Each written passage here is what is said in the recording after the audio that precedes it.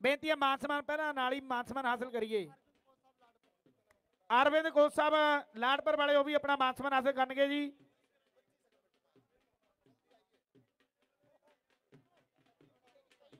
ਬਈ ਕੰਮੋ ਕੰਮੋ ਸਟੇਜ ਵਾਲੇ ਪਾਸੇ ਆ ਜੀ।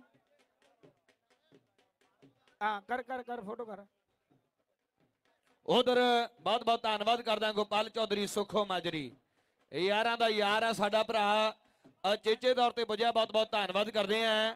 ਉਹਨਾਂ ਦੇ ਨਾਲ ਹੀ ਪਾਲੀ ਚੌਧਰੀ ਰਜਿੰਦਰ, ਦੀਪੀ ਲੇਹੀ, ਤਾਰਾ ਗਰੀੜਾ ਸਾਰੇ ਭਰਾ ਜਿਹੜੇ ਪੁੱਜੇ ਆ, ਸਾਰਿਆਂ ਦਾ ਬਹੁਤ ਬਹੁਤ ਧੰਨਵਾਦ ਹੈ। ਯਾਦਗਾਰੀ ਤਸਵੀਰਾਂ ਦੀ ਜਿਹੜੀ ਗੱਲ ਹੋ ਰਹੀ ਹੈ, ਉਧਰ ਮੈਦਾਨ ਦੇ ਵਿੱਚ ਸਿਕੰਦਰ ਸ਼ੇਖ ਦੇ ਨਾਲ, ਆ ਕਹਿੰਦੇ ਸੁਨੀਲ ਹੈ, ਸੁਨੀਲ ਝੱਲਾਏ।